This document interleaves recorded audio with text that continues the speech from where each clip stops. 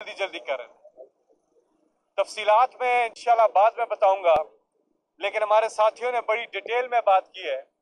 एक तो इमरान खान ने कहा है कि इतवार को पेशावर में इनशाला सब इकट्ठे हो रहे हैं। इतवार की दोपहर, सारे इकट्ठे हो रहे हैं वहाँ पे।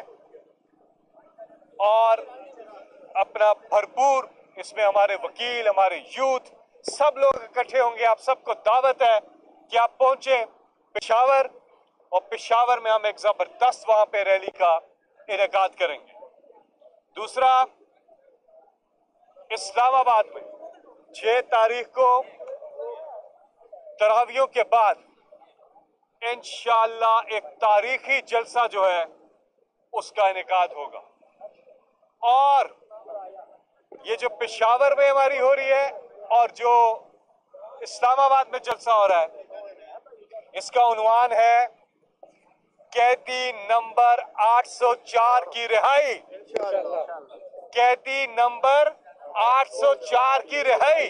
तेरा यार मेरा यार। कैदी नंबर तेरा यार मेरा यार। कैदी नंबर वज़ीर आज़म।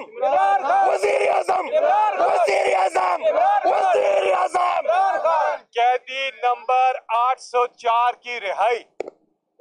और दूसरा, आज़ाद अदलिया। अदलिया की आज़ादी के लिए।